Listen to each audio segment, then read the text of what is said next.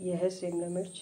आज मैं माइक्रोनी बनाऊँगी इसमें एक शिमला मिर्च, एक टमाटर, दो हरी मिर्च, आधा चम्मच हल्दी, एक चम्मच धनिया, आधा चम्मच जीरा, आधा चम्मच लाल मिर्च का पाउडर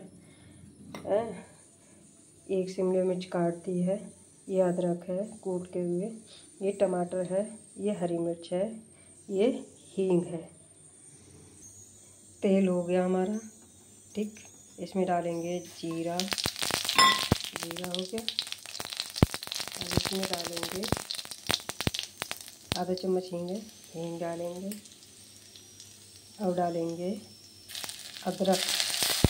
अदरक भून गई ये थोड़ी देर भुनेगी।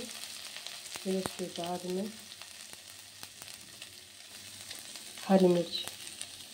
हरी मिर्च डालेंगे। हरी मिर्च पड़ गई। अब इसमें क्या डालें टमाटर। टमाटर डालना है। ये ये टमाटर पड़ गया। टमाटर पड़ गया। अब इसे चलाना है। ये चलाना है ये। ऐसे चलेगा। ठीक? अब इसमें डालनी है हल्दी। हल्दी डाली। हल्दी, लाल मिर्च। हरी मिर्च डाली ये धनिया पाउडर। धनिया पाउडर डाला। अब इसे चलाएँगे। समझे अब ये थोड़ी देर भुनेगा। उसके बाद में ये देखिए पक गई। अब इसमें क्या पड़ेगा? शिमला मिर्च। जो हमने शिमला मिर्च काटी थी, वो पड़ेगी। अब इसमें क्या है? आधा चम्मच ये नमक। स्वाद स्वाद अनुसार नमक। ठीक? ये हो गया नमक स्वाद अनुसार ये। अब इसे चलाना है। पाँच मिनट, दस मिनट पकाना है। ठीक ये ये देखिए। ये है। ये पकेगा दस मिनट तक। दस मिनट के बाद इसे थोड़ी देर ढक के रखना ये देखिए। ये देखिए हमारी ये शिमला मिर्च तैयार है। अब इसमें हमें क्या डालना है? इसमें डालना है हमें अपनी माइक्रोनी, जो हमने उबाल के रखी हुई देखिए, माइक्रोनी रखी हुई है।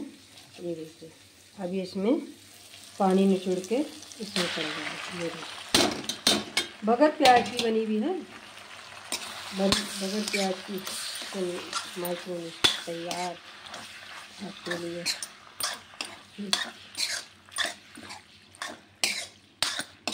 ये देखिए। हल्दी इसलिए कम डाली क्योंकि मेरी बेटी हल्दी डाल के खाना नहीं चाहती है। इस वजह से हल्दी मैंने आधे चम्मच से भी कम डाली है। ये देखिए। तैयार है? बिल्कुल। इसे दो दो मिनट के लिए ढक के रखना होगा। दो मिनट के लिए। ज़्यादा नहीं, दो मिनट के लिए, सिर्फ़ दो मिनट के लिए। झटपट बन के माइक्रोनी तैयार हो गई। ये मेरे ये मेरे कान्हा जी का है, ये मेरी बेटी का है।